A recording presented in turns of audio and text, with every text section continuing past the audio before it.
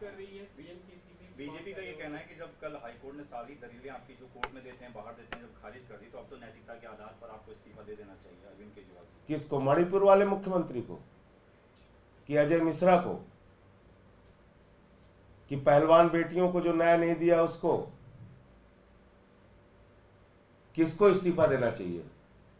कि सत्तर हज़ार करोड़ के सिंचाई घोटाले का जिसपे आरोप लगाया उस अजीत पवार को? छगन भुजबल को, हसन मुशरिफ को? किसको इस्तीफा देना चाहिए? लीडर ऑफ़ अपोजिशन शुभेंदु अधिकारी को कि हेमंत विश्व शर्मा को, जिसके ऊपर शारदा स्कैम और वाटर घोटाले का आरोप लगाया? ज़मीन घोटाले में जो नारायण राणे शामिल है, उसको इस्तीफा देना चाहिए। नैतिकता आप केजरीवाल को सिखा रहे हैं।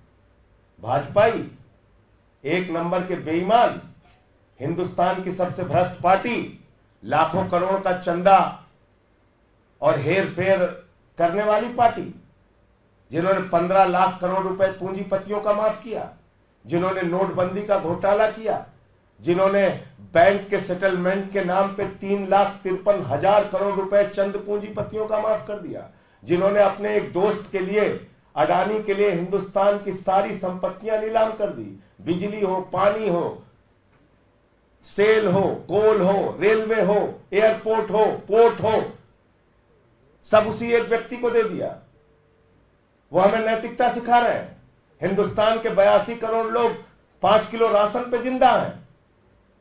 और उनका दोस्त प्रधानमंत्री नरेंद्र मोदी का पूरे देश की संपत्ति लूटेगा और ढाई लाख करोड़ रुपए का कर्जा लेके घूमेगा। हमको नैतिकता सीखनी है भाजपाइयों से, बंगारू लक्ष्मण की पार्टी से। यह सिखाएँगे नैतिकता उस अरविंद केजरीवाल को जिसने आईआरएस की नौकरी को लात मार दिया, उस अरविंद केजरीवाल को यह नैतिकता सिखाएँगे जिन्होंने उनचास दिन की मुख्यमंत्री की कुर्सी को लात मार दिया। उनचास दिन के मुख्य, चपरासी की नौकरी कोई नहीं छोड़ता। मुख्यमंत्री बने थे पहली बार दिल्ली के, उनचास दिन के बाद लात मार दिया उस कुर्सी को। आज सवाल नैतिकता का नहीं है, याद रखिएगा बार बार मैं इस बात को कह रहा हूँ। याद रखिएगा इस बात को, नैतिकता का सवाल ही नहीं है। नैतिकता का सवाल होता तो सबसे पहले कारगिल के फौजी की पत्नी, जहाँ पे निवस्त करके घुमाई गई मणिपुर में, दंगे हो रहे हैं एक साल से, वहाँ पे इस्तीफा होता। नैतिकता का सवाल होता तो अजय मिश्रा टेनी का लड़का जो चार किसानों को कुचल के मार देता है, उसका इस्तीफा होता।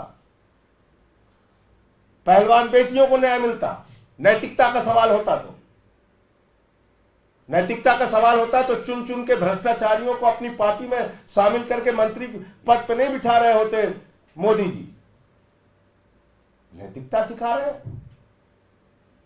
आदर्श घोटालेबाज को आप जो है राज्यसभा में भेज के हमको नैतिकता सिखा रहे हैं। भाजपा वाले ये सवाल नैतिकता का नहीं है, मैं फिर कह रहा हूँ, ये सवाल भारत के लोकतंत्र को बचाने का है। आज केजरीवाल इस्तीफा दे देंगे, आम आदमी पार्टी को खत्म कर दिया जाएगा, खत्म। सारे विधायकों को तोड़ा जाएगा, जेल में डाला जाएगा, हमारे मंत्रियों को जेल में डाला जाएगा, पंजाब के मंत्रियों को, विधायकों को जेल में डाला जाएगा, पंजाब के मुख्यमंत्री को जेल में डाला जाएगा, उनसे इस्तीफा मांगा जाएगा, स्टालिन को जेल में डालेंगे, विजयन को डालेंगे सिद्धारमैया को डालेंगे, रेवंत रेड्डी को डालेंगे, ममता बनर्जी को डालेंगे, पूरे देश के विपक्षी पार्टियों को खत्म करेंगे। अखिलेश यादव को जेल में डालेंगे, तेजस्वी को जेल में डालेंगे।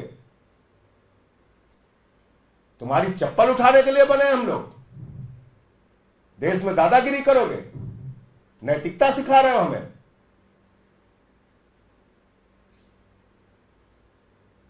उत्तर भारत के बड़े बड़े नेताओं को, एक आदिवासी नेता को, हेमंत सोरेन को आपने जेल में डाल दिया?